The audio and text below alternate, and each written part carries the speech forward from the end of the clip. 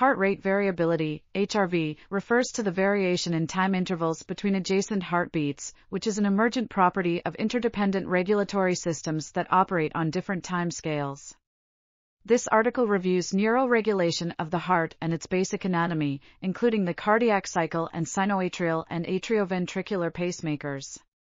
The Cardiovascular Regulation Center in the medulla integrates sensory information and input from higher brain centers to adjust heart rate and blood pressure via sympathetic and parasympathetic efferent pathways.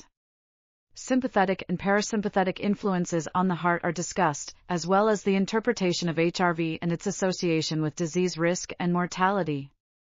The article also considers new perspectives on the underlying physiological mechanisms and properties of different frequency bands, including ULF, VLF, LF, and HF. Standardized data collection protocols and time and frequency domain measurements are reviewed, along with models such as Porges polyvagal theory, Thayer and colleagues' neurovisceral integration model, Lehrer, Vaschillo, and Vaschillo's resonance frequency model, and the Institute of Heart HeartMath's coherence model.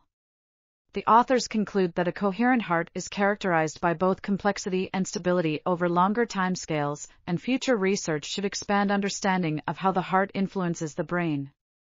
This article was authored by Fredric Bruce Shaffer, Rollin E. McCraty, and Christopher L. Zerr. We are RTCL.TV, links in the description below.